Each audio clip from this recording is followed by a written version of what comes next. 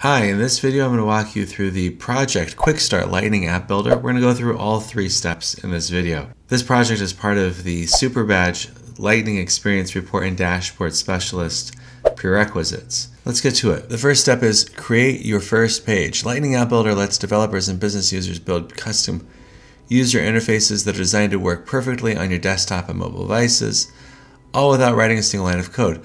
My guess is is that's why this quick start is included as a prerequisite for the Lightning Experience Report and Dashboard Specialist Super Badge, because part of what you're going to be doing there is creating dashboards.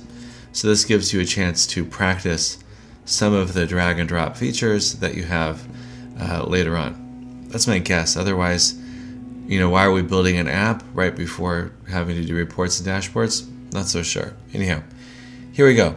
Create your first page. A Lightning page is a container for Lightning components Okay, it's not really a container, it's just a page. A, but you add lightning components to it, which are just things that help you do stuff. Launch your Trailhead Playground. By dear God, I hope at this point in your uh, Trailhead, if you're going through the admin certification process, hopefully you've come across this already.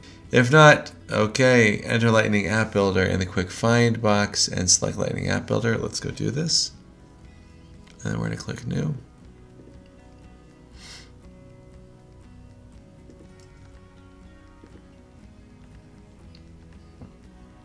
And then click New.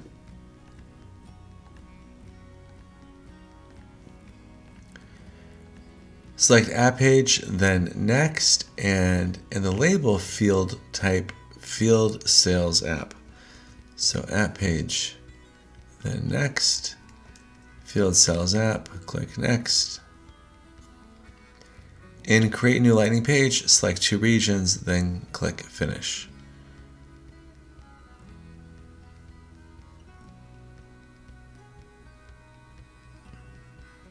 Okay. Now you have a page, you can add components. Your first component, drag a filter list component onto the page. In the two desktop drop-down lists, click Tablet Portrait. The Canvas preview layout page preview layout changes from the standard single column to two columns.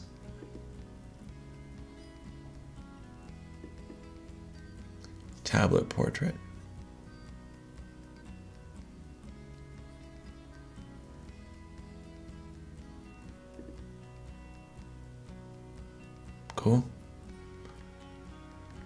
From the standard components menu on the left, drag the list view to the left column.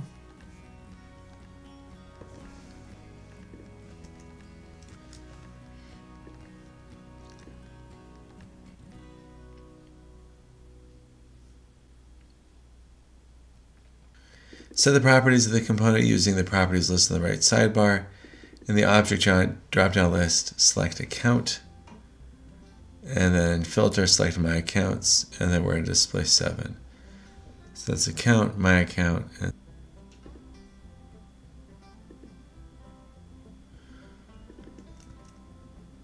and click save.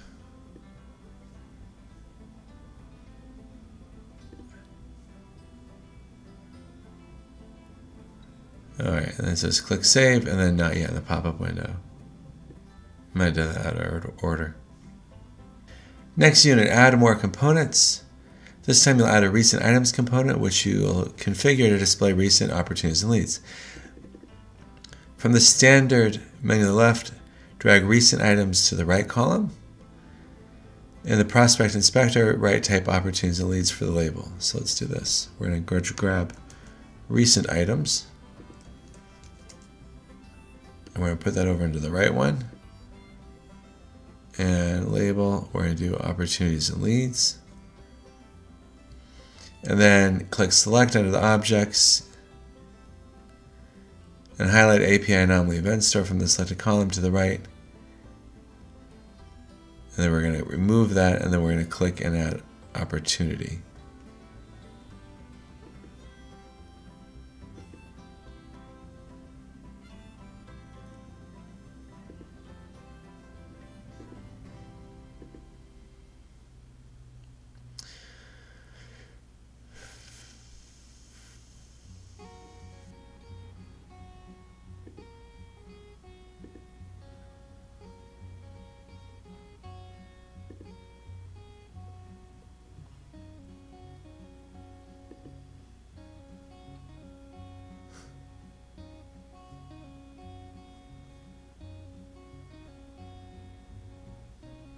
Alright, not sure I did this right here, but we're going to check anyhow.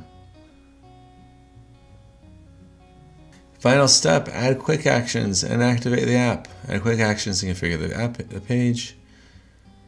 Quick actions, I would have would have liked a different title here. Quick actions allow users to create and modify records. After you add the actions, you activate the Lightning page as an app, which makes it available to mobile users. In the page sidebar, click Page to configure the app properties.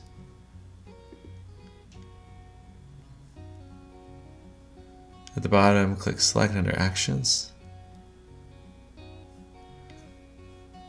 Click Log a Call and use the right arrow to add the quick action to the selected list. Repeat for new case, lead, and task. So log call, new case, new lead, new task.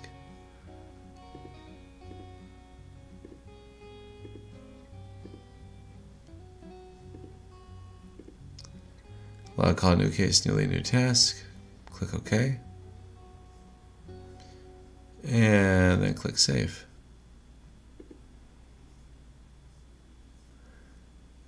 Activate the app. Wouldn't it be nice if this was in caps? So we had like add quick actions, activate, check it out, uh, no, whatever.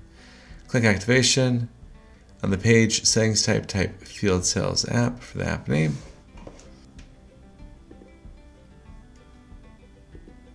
There it is.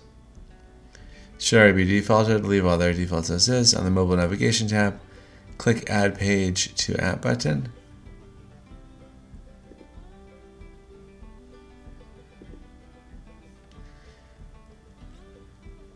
And then drag field sales app icon and place it below the today icon.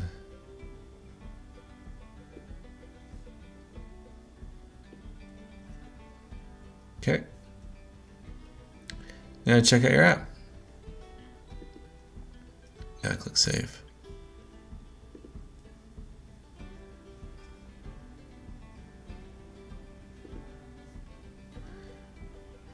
Click back.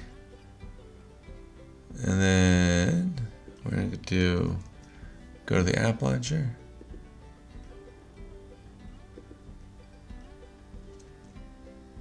Field Sales app. There it is.